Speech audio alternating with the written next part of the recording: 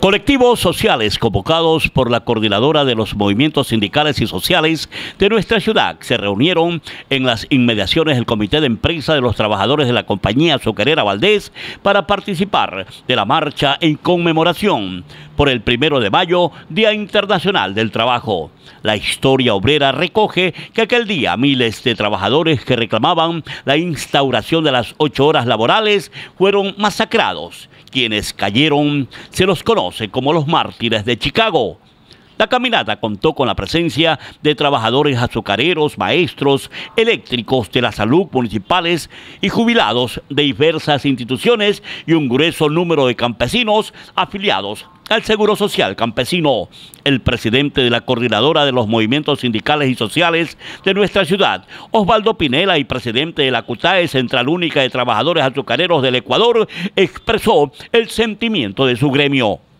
Realmente esto es impresionante, el recuerdo que le estamos haciendo el día de hoy a los mártires del Chicago, por un lado. Son 129 años de esa masacre donde murieron mujeres y hombres por defender sus derechos, por reclamar sus derechos como son los derechos a trabajar ocho horas, los derechos a descansar ocho horas y por los derechos humanos. Trabajadores de la salud encabezados por Roger Bonilla, dirigente de los hospitalarios, también manifestó su punto de vista en la marcha por el Día Internacional del Trabajo. Unido aquí junto al pueblo, unido aquí en la marcha del primero de mayo, recordando la gesta histórica de 1886 y no puede ser de otra manera, milagro. Miles y miles de gente, como usted lo puede constatar, en las calles.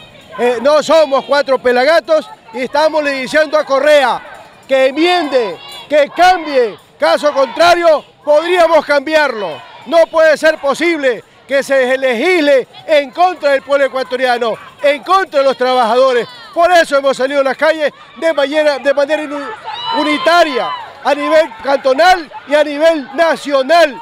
La marcha que se inició en los bajos del comité de empresa de la compañía azucarera Valdés se realizó sin contratiempos. La misma tuvo el resguardo de la Policía Nacional.